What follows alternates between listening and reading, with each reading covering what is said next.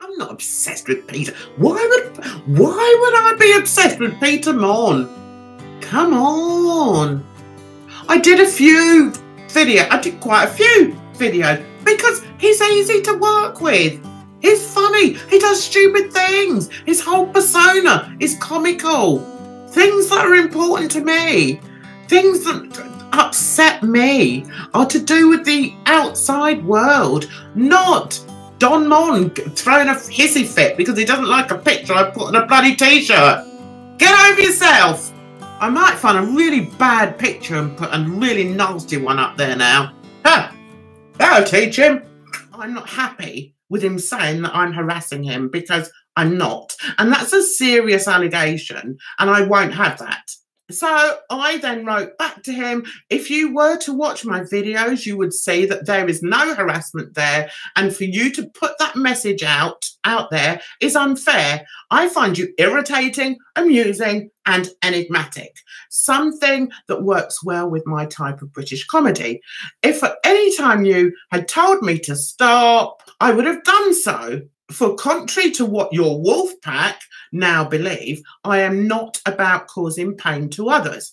Life is too short, and away from our computers, who really knows what we have to deal with, right?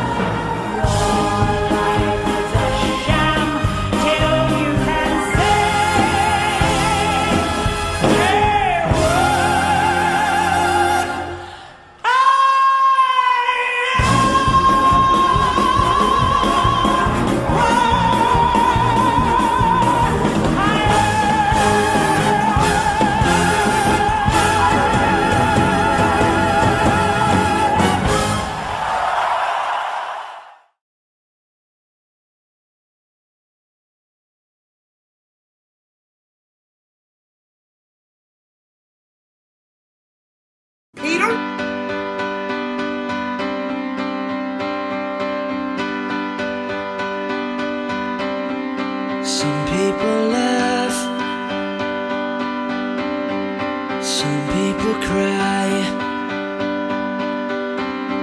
some people live, some people die, some people run. Right into the fire.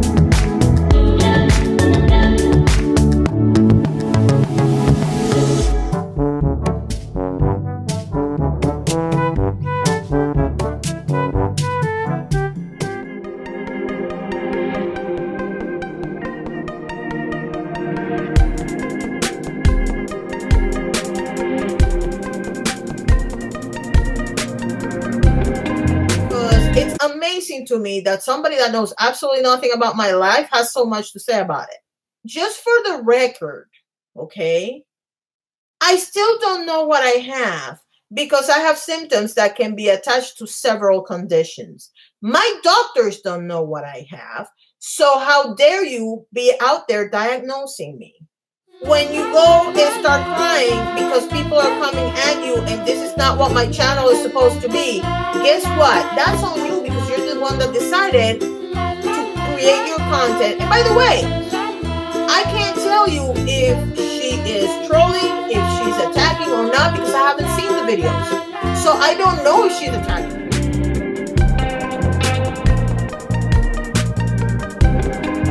Decided to make what I'm assuming is a joke, but now I'm rethinking that theory that women our age should never wear glitter.